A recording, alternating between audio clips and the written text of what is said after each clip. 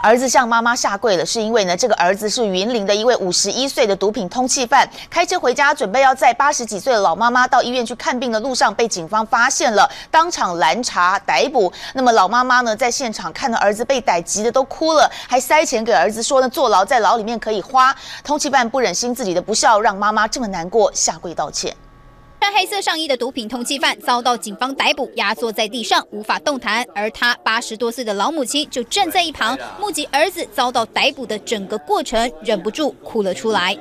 过来，过来，加麦啊，加麦啊！我是看到一百都来我在。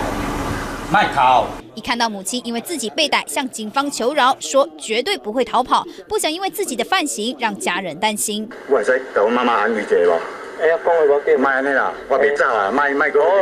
五十一岁的黄姓男子有毒品和枪炮弹药前科，原本是回到云林老家带母亲到医院看病，但没想到车子一进入了云林就被警方认了出来。双方追逐一百多公尺后，在自己老家的三合院，家人亲眼看到儿子被逮，天下父母心，痛哭向警方求情。黄姓男子看到这一幕，为自己的不孝向母亲下跪道歉。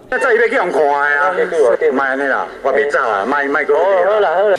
啊，怕他进去没有钱花用，所以赶快拿几千块给他应急的。不然母亲年纪都这么大了，还没人照顾，自己毒品通缉犯的身份，还让他目击被警方逮捕的过程。男子下跪认错，要妈妈好好保重，立刻被警方带走。中天新闻江代景云林报道。